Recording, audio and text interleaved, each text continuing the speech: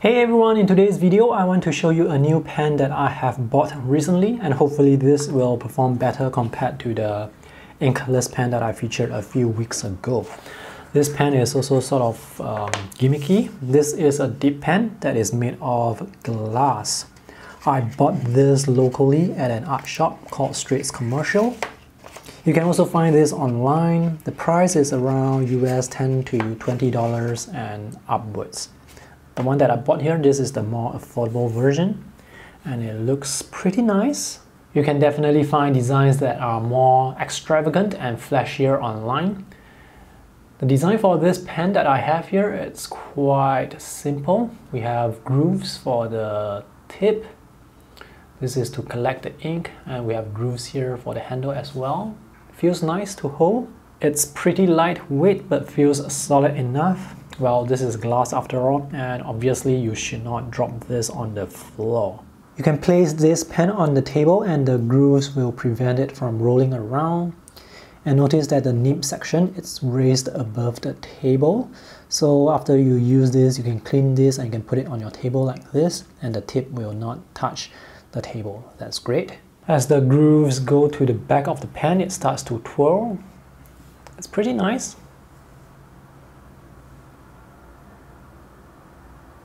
Alright, let's draw something. The ink that I'll be using is the Daniel Smith Walnut ink.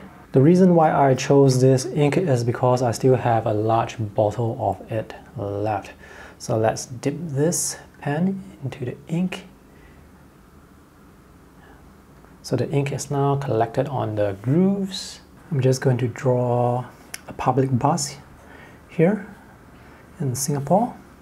Alright, first impression, this tip here, this is not a flexible tip, so this is not capable of giving you lines with varying thickness. So you're going to get uniform lines. The tip feels smooth enough on the paper. I've just dipped the pen into the bottle again. Let's see how long it can last before I need to refill this pen.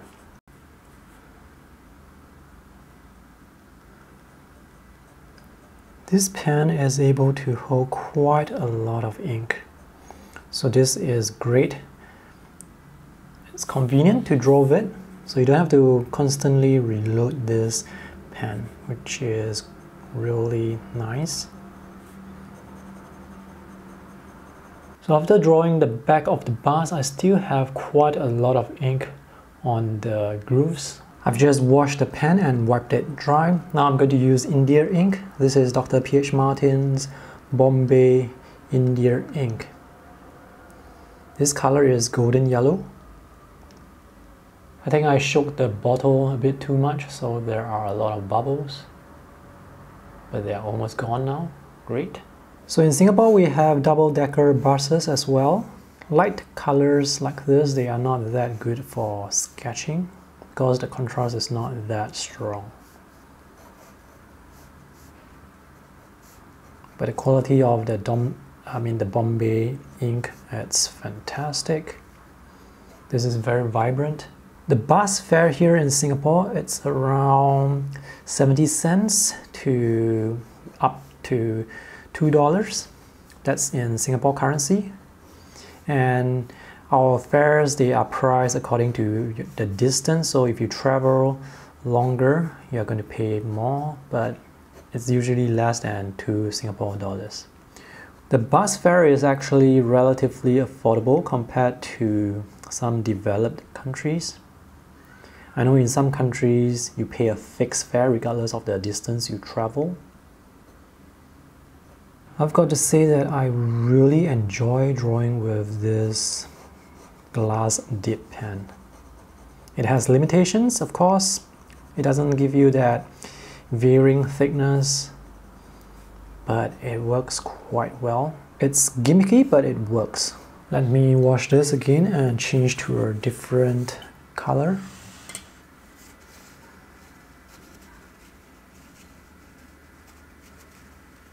The Bombay ink is pigmented ink, so it's not as easy to clean off compared to the walnut ink.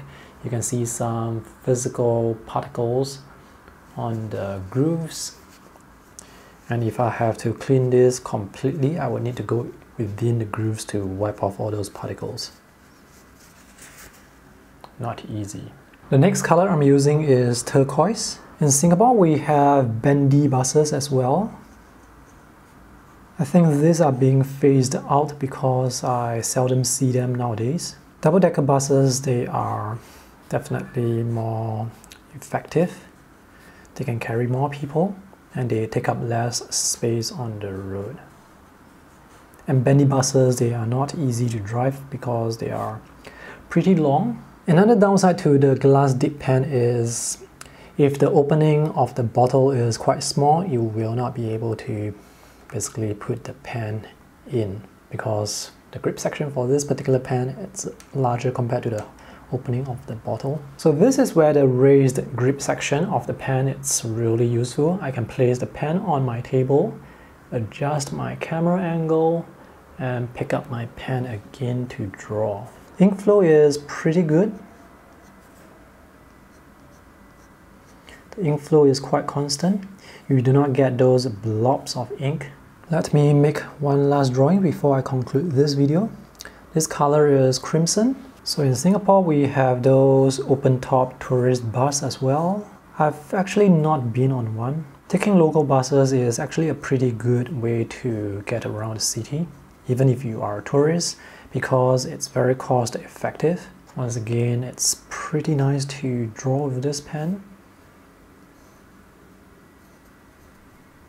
I'm actually quite surprised that the ink flow is that good. No ink blobs. I was expecting ink blobs, but there are no ink blobs. So you can actually draw with the pen at an angle like this, or you can draw it with the pen almost vertically. And of course you can use this for writing. Why is there no ink?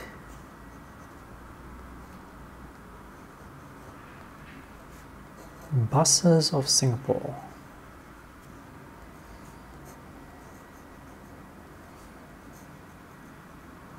To conclude, this pen may look gimmicky, but it actually works pretty well.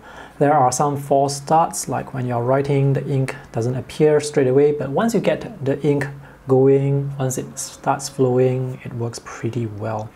And the pen looks good, so it makes for a pretty good gift for your artist friends, and it's not too expensive as well. Another thing I like about this pen is because this is glass, the tip the nib here, it will not rust. It's easier to clean as well compared to those metal zebra nibs.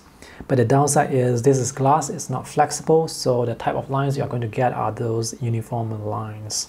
Another area of concern for me would be on how you can bring this pen around because this is glass, it's going to be fragile. If you put it in your pencil case, you have to find some way to sort of protect it to make sure that the tip is protected because the tip it looks a bit fragile. The tip may actually break off if you hit it against something.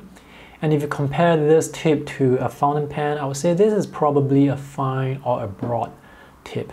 That's all for today's review. I'm glad I did not waste my money on this pen.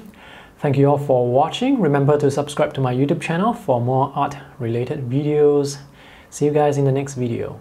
Bye!